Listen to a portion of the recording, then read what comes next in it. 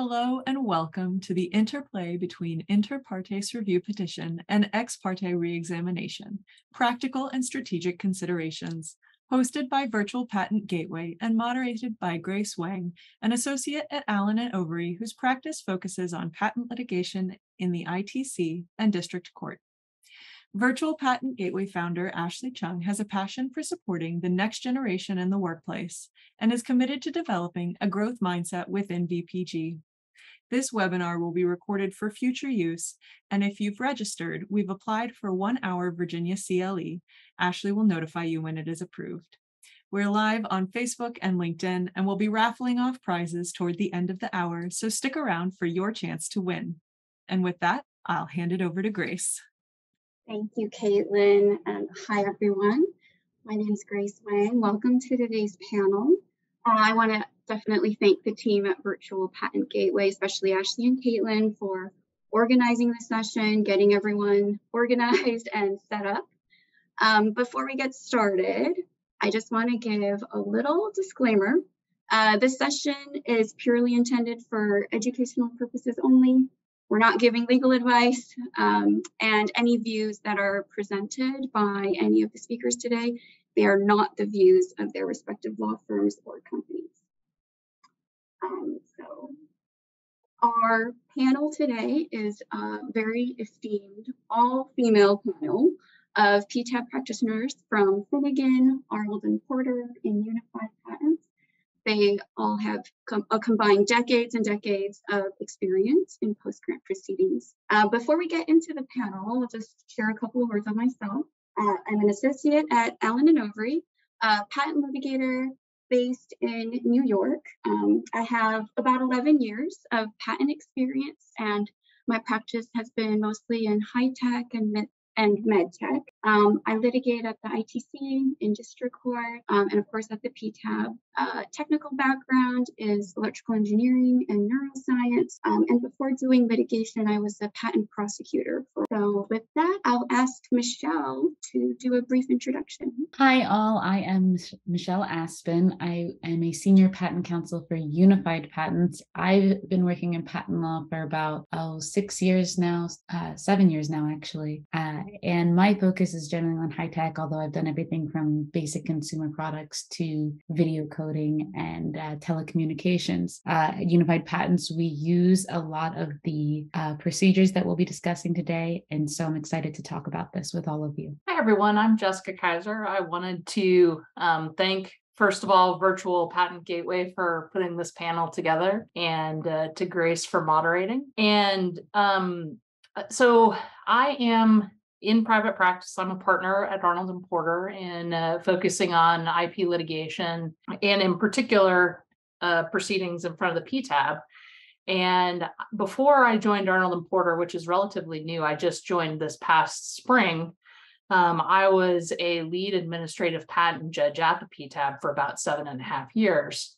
Uh, while I was there, I was focused uh, primarily on electrical cases, but I had a lot of uh, interesting opportunities to um, work on uh, policy initiatives within the agency and also to interface with the CRU, who handles the uh, the ex parte re-exams that we're going to talk about.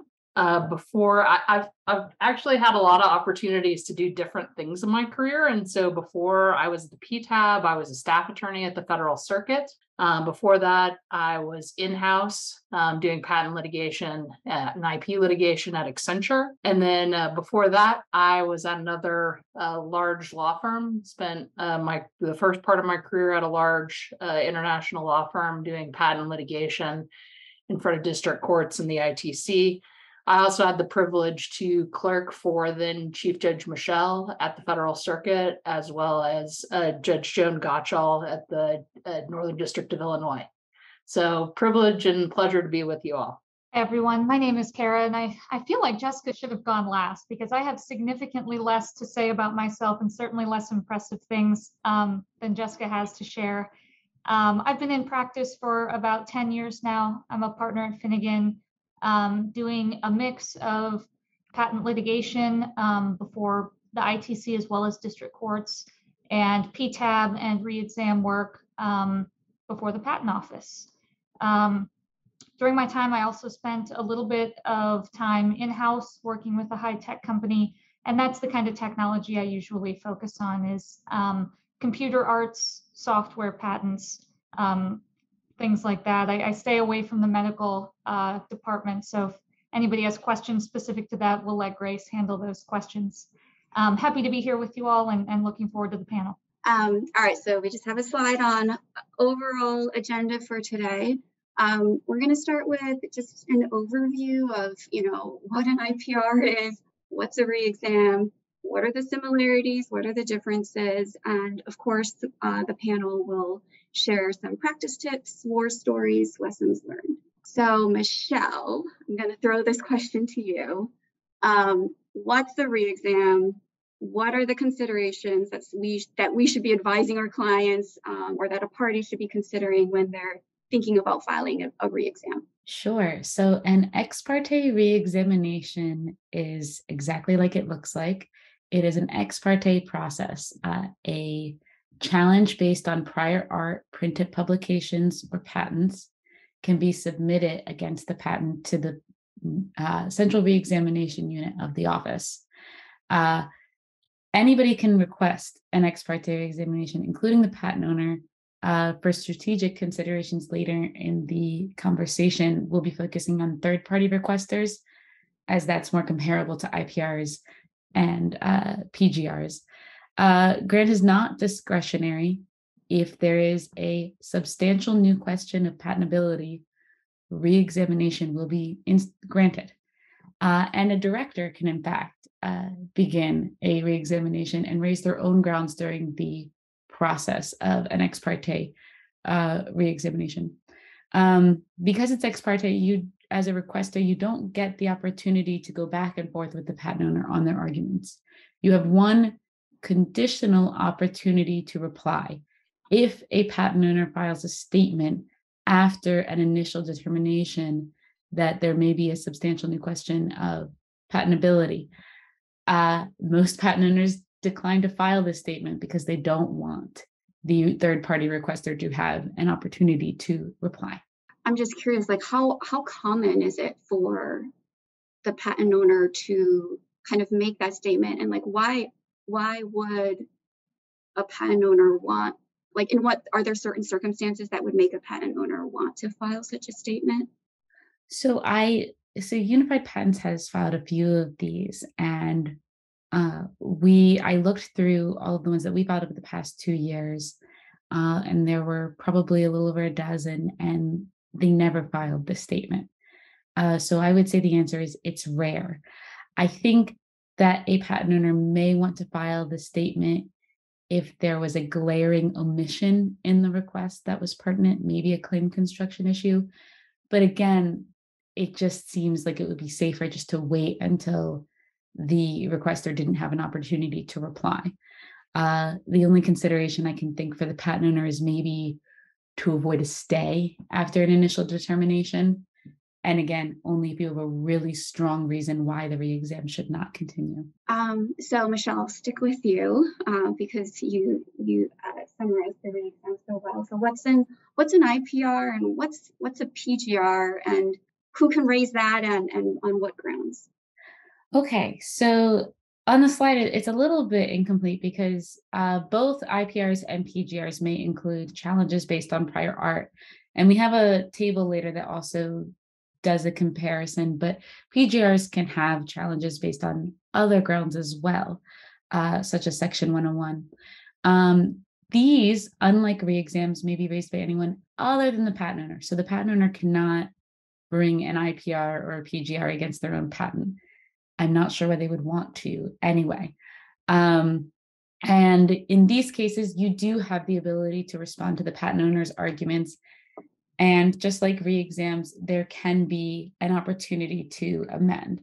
One drawback to this over ex parte examinations is that the grant of institution is discretionary, which means that there may be non meritorious reasons for a panel to deny institution of IPR or PGR, uh, such as duplicative grounds or um, or, a very advanced stage of litigation. Uh, so that is something that requesters, uh, petitioners in these cases must consider when they file these types of uh, administrative challenges. Thank you. And and since you know, just I want to pause a little bit on this last bullet about um, discretionary um, grant of institution. Uh, just two months ago, right in June, uh, the director of the PTO, Kathy Vidal, she released a guidance memo that kind of clarifies what the PTAB's practice um, might be going forward on discretionary denials. Can you uh, maybe tell us one, what is a discretionary denial? Two, what's FINTIV? And three, what did the June guidance say? Yeah, so um, for for the in, grant of institution in uh, in IPRs and PGRs, the statute um, doesn't require institution. Instead, it's framed as permissive. The director may not institute unless the standard is met. And so um, the office and the Supreme Court has in, has interpreted that as giving um, the board uh, pretty substantial discretion whether they the board wants to institute. And the board has developed a number of doctrines around that. Um, Michelle mentioned some of them around multiple petitions and serial petitions and things like that. Um, but one that's uh, gotten a lot of play over the last, uh, ever since uh, the FINTIV decision came out and became precedential. Um, and really, FINTIV is a doctrine where uh, the board is looking at co-pending litigation in another forum and what the stage of that litigation is. And so um, in the FINTIV decision, which is a precedential decision, uh, board decision, um, the board expressed a concern about the efficient, inefficient use of its resources if there's this co-pending litigation in another forum and articulated six different factors that the board will consider in deciding whether to go forward or not. Things like how likely is the district court to, to stay its proceedings? Um, what's the trial date that's set in the district court? Um, how much investment has there been in the district court and how diligent was the petitioner in bringing the IPR proceeding? Uh, what what's the overlap between those two proceedings? Are they raising the same issues or different issues? Do they involve the same parties? And sort of a catch-all looking at um, any other fact-specific circumstances, including the merits of the IPR petition. Um, Grace, as you mentioned in um, June, Director Vidal put out a memo with an interim process specific to FINTIV discretionary denials. Um, before that memo, the director or the, the, the PTO had issued a request for comments and um, as I mentioned, this is an area that's gotten a lot of attention. And so the office got over 800 comments in response to that RFC. And so Director Vidal's memo was really reacting to those comments. And it clarified a number of issues with that. Things like, um, you know, the uh, if if the challenges have compelling merits, then definitive denial won't apply. Um, it doesn't apply, FINTIV doesn't apply if the co-pending proceeding is in the ITC. Um, and it de-emphasized the trial date to some extent by saying it's not necessarily determinative. The board can look at practical realities, can look at median time to trial for the specific jurisdiction. Um, and and some other some other things about stipulations that we could talk about in more detail. But essentially, it puts some guardrails around um, discretionary denial to give parties a bit more certainty about, you know, things that they might have control over that they could do um, to prevent a discretionary denial. I mean, it sounds like the we should expect, or maybe we have already, are, are we already seeing that discretionary denials are going down since the June guidance came out? Yeah, I think there there was, and Michelle, you may have some some data on this. I'm not sure, but um, there was anecdotally we had already seen them go down because of of of other precedential decisions that the PTAB put in place, like Sotera, which gave the petitioner the the opportunity to um, make a stipulation that it wouldn't raise in district court challenges that it had made in its IPR petition or that it could have made. Um, so effectively eliminating the overlap and the uh, inefficiency between those proceedings. So uh, we, I feel like we'd already sort of started to see them go down, and some of what is in the memo really seemed to be um, just making that explicit. And we we've seen them go down and and just as correctly there was sort of a trend downward uh, but it was hard to see if that was because of a change in the application of the policy of the office or parties getting more intelligent uh, with the new guidance, it's theoretically too early to tell, but there are some things that are very obviously going to change based on the guidance. So, for example, ITC FinTIV denials aren't going to be a thing anymore. Um, in September 2020, there was this jump in discretionary denials based on ITC cases. And uh, the ITC can't cancel patents. And so a lot of parties were arguing, well, how does this apply to the application of factors two and four when a district case is stayed in light of ITC, uh, but the ITC doesn't stay cases and the ITC can't cancel patents?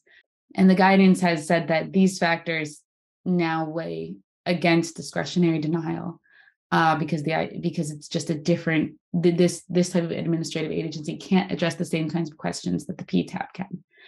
Um, and then the other big thing in the guidance was if there are strong merits, discretionary denial is not, is very rarely going to be a thing anymore, which means that. So, one thing we saw were panels not even reaching factor six because they said all of the other factors weigh in favor of denial. Uh, so we don't even need to get into the merits, but the guidance makes it clear like, hey, the merits are the most important, arguably. Um, so panels will have to step through that now. And so even if there is a discretionary denial, at least there will be some weighing of the merits before that happens and give the parties at least some kind of roadmap uh, in district court of like w- what are the scopes of the claims how likely is this to be invalid yeah I, I have a question on that front for the rest of the panel actually because compelling merits, um, that part of the guidance seems to be the least concrete at this stage. I, I don't know what that means. I've been reading all the cases that are coming out. There's not a lot of guidance on it. The standard for institution is substantial likelihood of success, right? And now you have this other factor that's compelling merits, but you can't really bring additional substantive arguments pre-institution. Is this a whole different standard? Is this the board inviting additional arguments on the merits before institution to rebut any uh, meritorious arguments raised by the patent owner. That's the one that I think is still a bit of a wild card. I don't know how it's going to shake out, but I'm curious if you guys have any experiences recently. It is. It does. It does almost seem to imply that there would be a trial within a trial. Um, we've always been given the opportunity to reply to FinTIV arguments because I think boards recognize it's kind of difficult to predict how patent owners will structure their arguments, even if you try to address it in your petition. Um, so I think that it will be, um, I think more data will come out, but I don't think it completely changes the standard. But the risk of a trial within a trial is there. Sorry, I'm just curious. Does this mean uh, if if compelling merits is like going to be something that the um, that the board is looking at at the institution stage, doesn't this mean that like the patent owner in their POPR, they're just not only going to be, they can't just argue procedurally anymore. They have to kind of address the substance of the petition. Yeah, That's my take as well. Yeah, I, I, think there's a real risk as a patent owner nowadays where in, in days past, right, before this guidance, the safe way to go about a, a pre uh, uh, POPR was to just hit procedural stuff punt on all the substance, hope it never gets past institution. So you've never made any statements about the prior art or the scope of your claims. And now I think there's a risk if you just hit procedural issues, the guidance brings the merits into the procedure. And so there's a risk that you can lose on that compelling merits issue and then lose on FinTIV as a whole because you've ignored it and tried to kick it down the road. And are we, are we seeing that? I mean, I guess it's only been a couple of months, but in the POPRs filed since since June? Is it like is anyone gonna file? Is anyone daring enough to file a POPR that's only based on procedure? We've seen it, yes. Um, but they do get into a little bit of the merits, uh, a little bit in number six, like we don't think the motivations, not deeply, um, for what it's worth, and they don't have a separate merits section. They just address the merits in that factor six. Um, we've seen both though, uh, but we'll we'll continue to see, I guess. Um, I know we spent a chunk of time on this topic, but I think it was kind of top of mind for a lot of people. So I'm glad that I think it was time well well spent. Um, let's go on to the, the, the next section for this panel. You know, we're just going to highlight some of the kind of the main differences between what's a re-exam, what's a PGR versus an IPR, um, as well as kind of contrasting them with uh, litigation in district court um, and what are considerations for parties when litigating in these different proceedings. So Kara, I will ask you this question. Can you um, just highlight some of the main differences between the post-grant proceedings that we're talking about, um, as well as, you know, amongst themselves, as well as versus district court? Sure. So the the biggest difference that's at the forefront of everybody's mind, I think, when they're sued for patent infringement is before a district court, if you want to challenge the validity of the patent, you have to meet a clear and convincing evidence standard. So, uh, you know, nobody wants to put a percentage to this, but in my mind, it's somewhere around an 80% burden of proof. If you instead take your invalidity challenges to the patent office, either in PGR, IPR, or an ex parte re-exam, on paper, it says the burden that you have to meet is much lower, preponderance of the evidence. So right out of the gate, it's an easier job to invalidate a patent before the patent office, supposedly.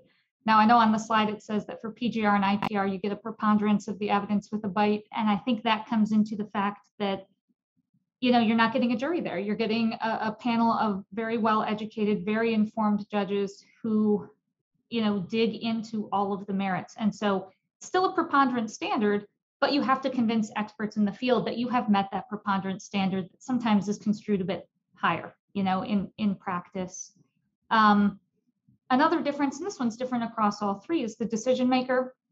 Um, you're going to an Article 3 judge or a potentially uneducated jury before a district court. So not only is, is it a higher standard, but you're working with people who are not experts in this technology and trying to convince them that you've proven that higher standard that this patent is invalid. IPR and PGR, you get um, a, a, panel of three judges, and at least Jessica can correct me if I misstate this. Usually, at least one of them is very well informed on this technology area. You might get all three that are well informed, but at least one is going to be a pseudo expert, if not a true expert in this field. So, an educated panel that's going to make a decision on your on your arguments.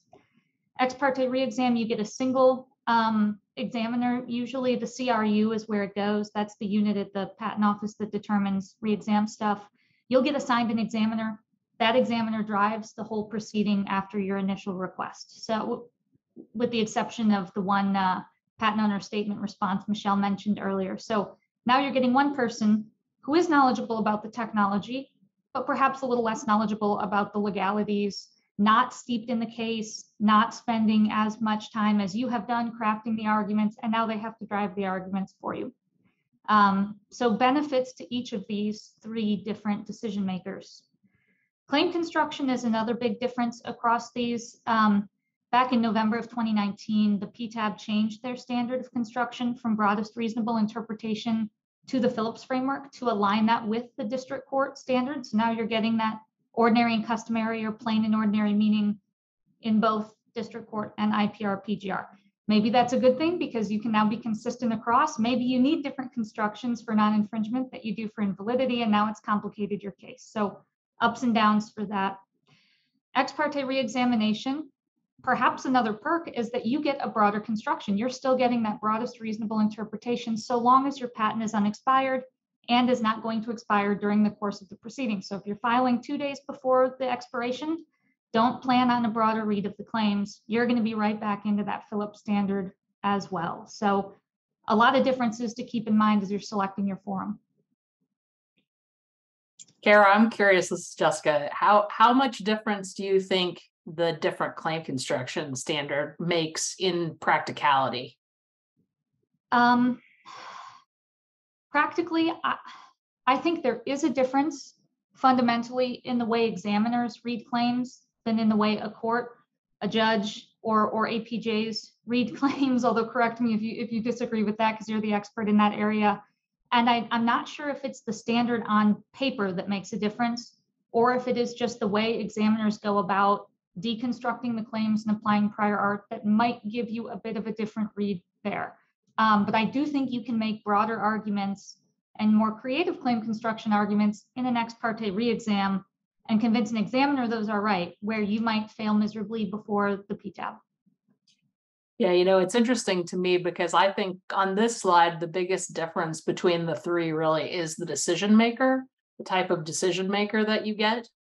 Um, a- and, you know, thinking through the types of arguments that you want to make, whether they're can be effectively presented to a, a you know, a non-technical judge, a lay, a lay jury, um, you know, whether they're better presented to APJs who, as you pointed out, tend to be more steeped in both the law and the technology or um, an examiner. Um, it, you know, because there was a long time when the the PTAB uh, had BRI as well for unexpired patents, and it was always my impression that a PTAB at the PTAB it really didn't make that much difference in the vast majority of cases. You could have some things around the edges, but generally not. But that's interesting to to sort of also bring in the the the lens of the examiner as well as part of that distinction. Yeah. I think you're right with the decision maker being the big difference, including in claim construction, because the goals of claim construction are going to be different in these proceedings. In a PGR and an IPR and ex parte re-exam, claim construction is all about only addressing the scope of the claim to the extent necessary to resolve a dispute. And so if you have obviousness, even if you accept somebody's construction, claim uh, patent owner's construction claim construction doesn't really matter. You don't technically need to construe it because it doesn't go to the ultimate dispute. Whereas in district court, claim construction is almost about giving the jury a dictionary so that they can understand what these words, what this legalese to, to many lay people m- means. And so the purpose of claim construction in these proceedings is more different, I think, than the standard being applied. So I have a purely hypothetical question. Let's say in district court or ITC or somewhere, um, you know, patent owner was wanted a certain claim construction and they got it, they won it. Um, now we're at the re-exam stage and it's a different, you know, that that was obviously under Phillips. Now we're at the re-exam stage and the, can the patent challenger use their own words against them and say, yeah, even though re-exam is under BRI, look your examiner to see like what patent owner said about this term elsewhere. Can we read that? Can we bring that in and say, even under BRI, no, r- regardless of what the standard is, patent owner has made this statement and they should be held to it. Not only can you, but you really should do that um, as a challenger because BRI can only be broader than whatever the Phillips construction is. The, uh, I, I don't think I've ever seen a broadest reasonable interpretation be narrower than a district court interpretation of the claim. Um, but Jessica and Kara, you might correct me if I'm wrong on that. No, I mean, I think that's exactly right. And, um, you know, I, I mean, if the, if what the district court construction is, is, is what you need in, uh, as, as a challenger in the re-exam, then you're definitely gonna point to that and, you know, th- I think the CRU will look closely at that as, as adopting it, or, you know, it would be as, as Michelle said, at least as broad. Um, you know, because, you know, it- it's funny in, um, either PGR or IPR, um, or in re-exam, usually the, um, the challenger is, is often the one looking for a broader construction so that it encompasses the art um, that, you know, that you're asserting. Um, district court's a, a different animal, right? Because if you are the challenger, you're also the defendant. And so um, the broader construction may not be great for you because um, of infringement reasons. So you have different calculuses too in, in terms of the patent owner and the and the the challenger in these different forums in terms of how you might, you know, in a perfect world, want the claims to be construed, but what balance you have to strike. Um, so Michelle, can you um, highlight some of the practical differences between re-exam, PGR, and IPR? The timing and the scope are the big um, differences. So ex parte re-exam can happen anytime after the patent is granted, and anybody can file it. Post grant review, you have a limited window to file, but you have a lot you can challenge. So only within nine months of granting the patent, uh, and you have more than just obviousness and anticipation grounds, you can challenge based on patent eligibility and written description, enablement, and indefiniteness. Uh, inter partes review, you can file after the period for post grant is over um, for any patents granted after the, uh, I think it was September 2013 was the line, but I may be mistaken on that. For patents under the AIA, it's after the post grant review period ends. For non AIA patents, uh, it's after the patent has been granted. Um, and the threshold showing of grant is different for each of these cases. And so for ex parte re-exam, theoretically, uh, it could be the highest question, but not always. It's substantial new question of patentability. Are you giving the office something new? And have you shown that there's a substantial question that the patent is patentable? In post grant review, you have two alternative uh, options. You can show that you are more likely than not to succeed or present a novel legal question that has not been before the office before. So maybe the office never considered a written description or enablement, uh, and you are presenting that for the first time. Uh, and then in inter partes review, inter partes review, it's reasonable likelihood of success. Now, I don't know if there has been a you, you can't you don't usually see the same patent challenged on the same grounds in all three.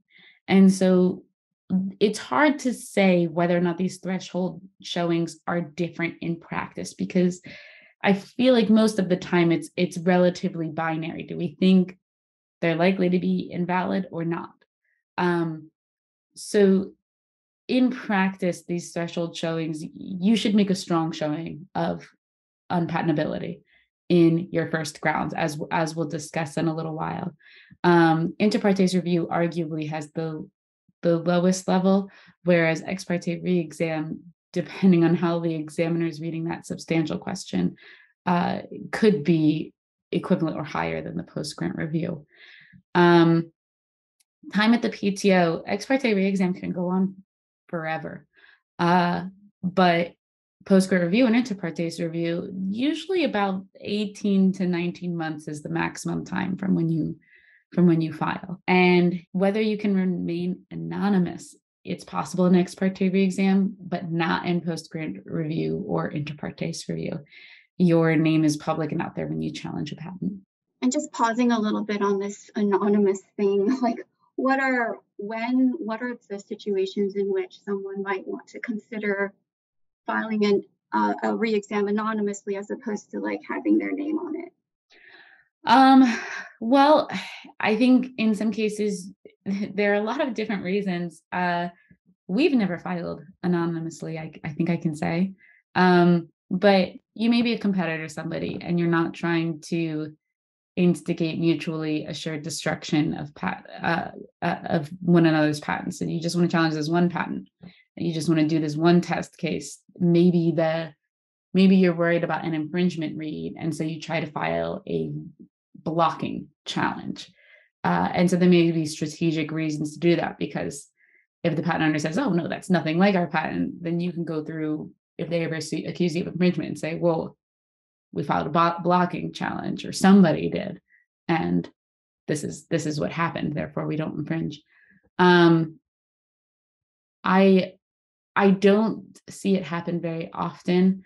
Um, another reason is, and this one's a little bit underhanded, but maybe you want to challenge again after you already lost and you don't want to get accused of harassing the patent owner. Um, that should not be your reason for doing it anonymously, but I think it might happen. Um, and when at the beginning, when we talked about like patent owner filing a statement in a re-exam and then the third party getting a chance to like respond to it sort of or or answer it, uh, can you still do that even if you're anonymous? Uh, I don't recall actually. Um, You I don't, I don't recall. The, the, the anonymity doesn't mean the lawyer's name on the bottom of the page is anonymous. It just means the party they're representing is. So usually how people go about this is, you know, I, if I wanted to file anonymously for a client, I would write the papers and then hire separate counsel to review them and file them under their name that has no past affiliation with whatever entity it is. And then you build kind of that barrier between a, a word of caution that Michelle started on. If you are estopped because you lost an IPR, do not file an ex parte reexamination anonymously. You have to certify that you are not estopped. That up that continues to exist even if you're filing anonymously. So don't that that is not a reason to file anonymously um, at all. That's the only hard and fast rule I have on that. Noted. okay. Um, all right. So Jessica, um, can you talk a little bit more about kind of some of the practical differences across these post-grant proceedings? Yeah, so um, the first one listed on this slide is is pretty important, and it's the the estoppel that attaches. Um, and that's um, primarily here what we're talking about is the estoppel that can attach for what you can um, assert as uh, the challenger in your co-pending litigation. And so if you bring an ex parte re-exam, you, you don't have any estoppel attached. But for both post-grant review and IPR, um, under uh, the statute 315, I think it's E2, um, you're stopped from bringing, at, and this is estoppel that attaches at a final written decision. So you have gotten through the uh, the entirety of the proceeding.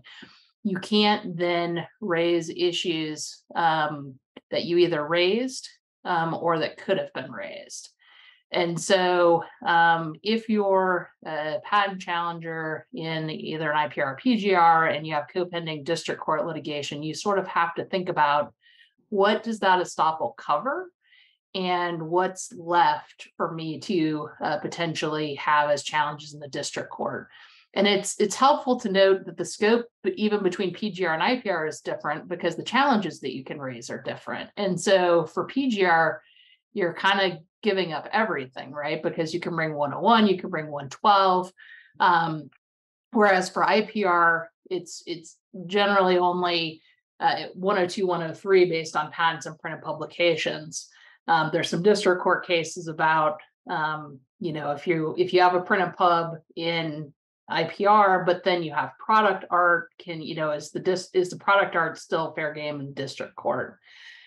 Um, so that's one key difference and key consideration is thinking about that estoppel. Um, another is just, and, and in a way this goes to cost, but but also time, is um, discovery and evidence. So when you're doing your request for ex parte re-exam, you can submit a declaration, but there's not going to be any party discovery because it's ex parte, right? Um, for PGR and for IPR, you also have declarations. You'll probably have multiple declarations because as a challenger, you, many times you'll have a reply declaration after the trial is instituted. Um, and you also have discovery, so you get depositions that go along with those. Um, you can, in in some cases, you can have more intensive discovery, not nearly the scope of what you might see in district court, but um, if you have cases that have secondary considerations or other issues like that, you can have more discovery. So that's a consideration too. And then the last topic on this slide is appeal. Um, the main difference here is that with um, ex parte re-exam, um, you only it's only the patent owner that can appeal. So you as the challenger initiate it. If the patent owner doesn't like the result, they can appeal. They go through the PTAB first and then to the federal circuit for PGR and IPR because it's a you know a contested proceeding. You end up um, with either party being able to appeal um, directly to the federal circuit um, with the caveat for standing requirements. It seems like this estoppel is like the scariest thing, right? Like it's like not what you raised, but what you could have reasonably raised. Does this ever happen where like a patent challenger kind of gets close to uh, the, the, the estoppel only attaches at the at the end, right after you get the final decision. So I'm just thinking like, does this ever happen where the patent challenger, you know, you file your IPR, your PGR, you're going along, and then you you just get like, you just feel like the board is going to side against you. You just you just I don't know, like you you just think that the pen owner's arguments are good or whatever. Can you pull out of the IPR and just say like, never mind, I don't want the final decision because I don't want estoppel to attach?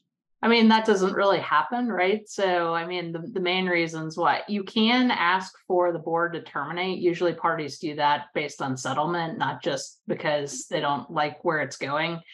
And usually with the petitioners, you know, you once because the estoppel doesn't attach until the final written decision, you've already gotten a decision on institution where the board said you have a reasonable likelihood of success. Um, so I've never seen that attempted or happen. I think more what you think about is what, like I was saying, what's left for district court after the estoppel. And um, the other thing to mention, we were talking about FINTIV, we were talking about stipulations. And um, the Sotera stipulation, which essentially is the same as the estoppel, essentially will just take that estoppel and move it earlier in the proceeding, move it to after institution. And so you have to make um, you know those those decisions and that that um, that thinking through the strategy of what's left for district court earlier in the process than you otherwise would if you make a Sotera stipulation. Yep. And maybe just for the benefit of our audience, can you just explain what is a Sotera stipulation? When would a party, a patent challenger, uh, make such a stipulation, and at what stage? Yeah, so um, we were talking about FINTIV discretionary um, denial doctrine earlier, which is where you have this this issue of a co-pending district court litigation. And I think it was either Michelle or Kara who mentioned that you usually, um, as the challenger, if the patent owner raises FINTIV, then the petitioner um, will usually get a preliminary reply, and that's prior to the board's institution decision. So, as the petitioner, you're usually um, thinking about stipulations at the pre institution stage. If you know it's going to be an issue, um, you have a lot of facts about the co-pending litigation. You might think about it at um, at the time that you're filing the petition. Um, if the facts have changed, if so, you know, if the the patent owner raises certain arguments, you might think about it instead at that preliminary reply um, stage, putting in a stipulation there. But basically, there are different scopes of stipulations that you can put in based on uh, you know, for lack of a better word, how how poor your FINTIV facts are as the as the challenger. So what you think that you need to give to avoid this FINTIV denial. And they have names based on the, the cases that they came from, the board cases that they came from. So Sotera comes from a precedential board case. Um, and that's essentially the same scope as what we have on the screen. You're agreeing not to raise in the district court um, any uh, issues that you either did raise or reasonably could have been raised if your petition has has been issued. There's also an informative board case that's called Sand Revolution, um, where uh, the stipulation is much narrower, um, where it's essentially just you won't raise the same the exact same challenges in the district court. Not surprisingly, the board tends to weigh that less heavily in favor of um, not exercising its discretion. Um, and then petitioners have offered stipulations that kind of fall in between.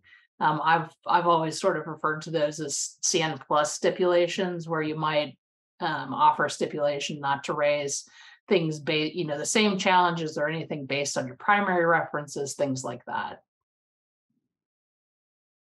Kara, Michelle, do you guys have anything to add on like estoppel, stipulation, and how that's kind of played out in your practice? No, I think that covered it really well. I might have thought about all these things a lot when I was a judge. Great. Okay, so um, Kara, now what every client wants to know, right? How much does all of this cost me? is it worth it? What am I going to get out of it? Can I stay like my district court option pending the post grant proceedings? Yeah, so if if you're looking at these numbers and thinking, man, this stuff is expensive, you are completely right. And I will just say, well, the first row is set by statute. Um, so those are fixed costs. Second one as well. Legal fees really vary by the facts of the case. So I think this is a solid estimate here, but don't don't be running off and thinking this is like a quote that you should, you know, be giving to clients and things. Um, in general, and maybe one of the perks of using ex parte reexam is the legal fees are generally substantially lower. Um, I want to caution you a bit that that maybe twenty thousand dollars is a low, little lower, um, depending on the complexity of the issues involved. Than than I would maybe think myself. Um, can it be done for this? Of course. The best re-exams, in my view, and I, I think Michelle agreed with me. She's done a bunch of these as well are written almost like an IPR, but maybe throw in a little bit more in terms of other stuff that are required um, in an in an ex parte re-exam. Like you don't have a page limit, so you can slap some claim charts on the end to make sure you're really covering every limitation. Um, you might be able to throw in additional grounds because you don't really have a hard and fast page limit or word limit like you do in an IPR. Those types of things can drive up fees. Um, one place where you can save money, though, if, if you're looking to do so, is ex parte re-exam.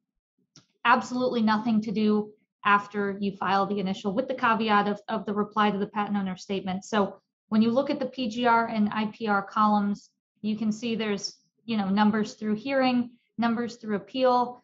As a requester in an ex parte re-exam, you don't get you don't you don't get to participate in any of that. So your your legal fees in theory in theory, are cut off as of the filing date of your request. Um, couple caveats to that, of course, but generally that keeps the fees down. You have no discovery, your expert's not going to be deposed. A lot of that stuff that gets expensive just doesn't exist. Um, but going back to the big strategic decisions, are those weak points in your argument? Do you have what you need from one filing where in an IPR PGR, you're getting multiple papers and opportunities to argue before the board? Here, cheaper, maybe, but you're losing a lot of the advocacy that might be beneficial to really win out the day. Um, so everything's always a trade off. In terms of a district court stay, um, this is also highly fact dependent across the board. So there, there's a set of factors.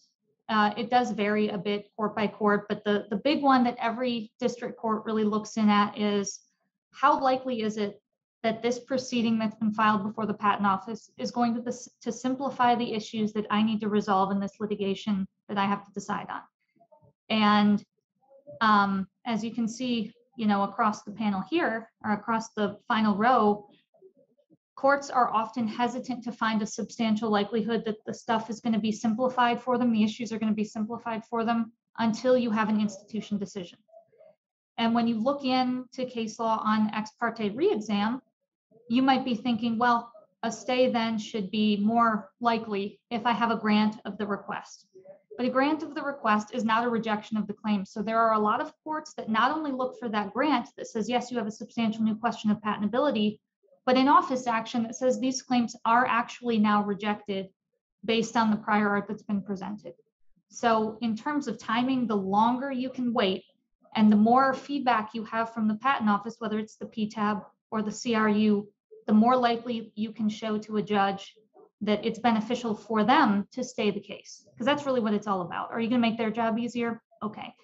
Um, that said there are a lot of district courts that will generally not consider a stay regardless of how far along you are. Um, i think everybody can guess which courts those are. I know judge albright has gone on the public record saying he does not like to stay. Judge gilstrap's standards uh, like statistics on stay very very low um, Judge Connolly in Delaware, another one, very low uh, stay rate. So if you have any of these judges, you might not want to be banking on getting a stay. Other courts, Northern District of California, sometimes it's judge specific, generally a little bit more favorable for a stay. So be sure to check your case law. Um, and if you're in Texas, don't uh, don't bet the farm on getting a stay. Yeah, maybe uh, one other thing to point out about this chart is, as Kara said, you know, the the the filing costs, those are pretty set. The legal fees, you know, are pretty variable. Um, and I also noticed the legal fees for this slide are based on a twenty nineteen survey. And um, I would, I would submit the, that IPR and PGR practice has gotten only more complicated since then because of some of these discretionary doctrines that we've been pointing out. Um, but any of this is gonna be extremely variable in terms of legal fees based on the complexity of, of your case. How many claims are you challenging? How complicated are those claims? Um, how many experts might you need? Um, these, these cases can be extraordinarily complex.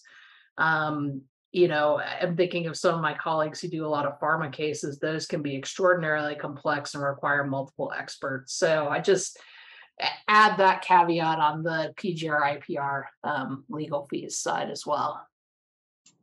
And then the only thing I would add is all of these numbers are often relatively small when you're facing a eight, nine digit uh, infringement suit. Yes, and remember, you get that lower standard um, for invalidity before the patent office that might be worth the investment to get out of the district court with the invalidity arguments. Right. Yep. Great. That was a great kind of overall summary. In the interest of time, I'm going to skip what looks like a lot of slides and come down to this one, um, just to kind of continue the discussion on sort of considerations of um, kind of the title of this session, right? The interplay of IPR and EP and XPR. Um, so kind of Jessica for a party who's maybe kind of just starting out was just sued and they let's say you know cost isn't really an issue. Of course it is but let's just assume like cost isn't an issue. They have the luxury of choice. What what should they be considering um, in deciding between um, ex parte versus IPR that um, you know Kara hasn't already covered You know, I think it's important just to take holistic view of what your dispute is and what your goals are. So, you know, what is your strategy in district court or the ITC? Um, what are sort of your your pain points around that? What kind of art do you have? Um, and do you feel like it's important for you to be in the driver's seat of your challenges? Um, is it something that you feel confident that you can explain in in one paper and really let the um, you know let the the the office handle after that? Or is it important for you to really um, be involved substantively through the through the process to be able to explain the nuances? So i think you know that that um, that balance between what you need for district court versus patent office proceedings and then how much control you need is are the things that i primarily think about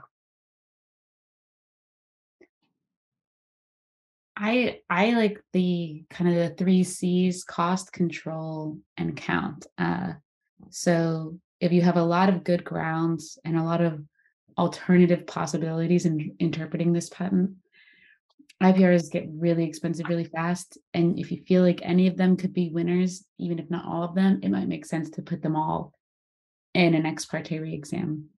Uh, cost, if your client can afford an IPR, they, they can't afford it. And so you file a, a re-exam. Um, blocking art versus true read art, I think that actually doesn't move the needle too much for me unless you have both. Um, I think one thing that a lot of litigators don't do that they that that is a strategy they may want to consider if their client is trying to save money is if you're sued on a lot of related patents, do your test case in an IPR uh, and get an institution decision in, in six months or or however soon you can. And if you get a positive institution decision, then maybe prepare the rest for an ex parte re-exam that will take a little bit longer than the IPR.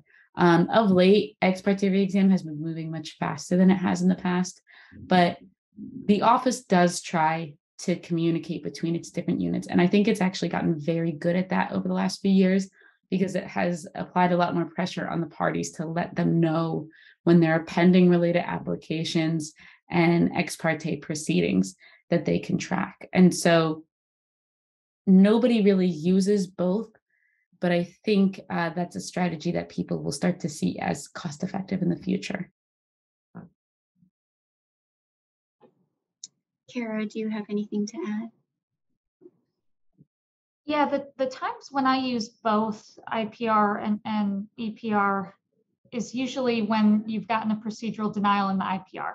Ideally, a FINTIV denial, so you don't have a 325D problem where you really cannot raise the same challenges. If you have a FINTIV denial, you can just take exactly what the board just refused to hear on procedural grounds, take it to the examiner where FINTIV is not, not an issue.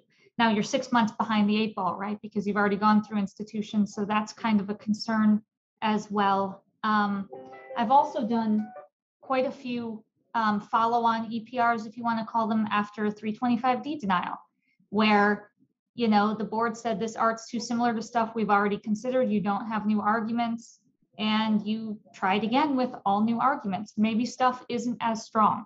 But now you've got an examiner who might be taking a broader read of the claims, so you can get a little bit more creative with your reads. Um, that is a point that I, I, I, know when we were practicing for this, Jessica and I and, and, Michelle talked about ad nauseum. We don't have time now, but that's difficult given the um, you know current 325D, um, I, I guess temperature at the CRU. They haven't given it teeth yet. They're still granting things as long as you can differentiate enough. But there's a lot of pending petitions that say, hey, the board's improper, or the, the CRU is improperly applying 325D. Stop these follow-on petitions. And I, I'm going to pass this off because somebody will not leave me alone here. I apologize. Kara is in high demand. No, that was that was great. Thank you so much. And we're out of time. Um, any final remarks for anybody? No, I, I, I just want to say I really appreciate this discussion. I think this has really been a fun panel. Ashley's reminding us that uh, we're going to pass it back to them for a raffle. Um, but I, I've been very appreciative of, of having this discussion. Great. Well, thank you so much to our esteemed panel today, and I'll pass it back to Caitlin at um, so to, to do the raffle.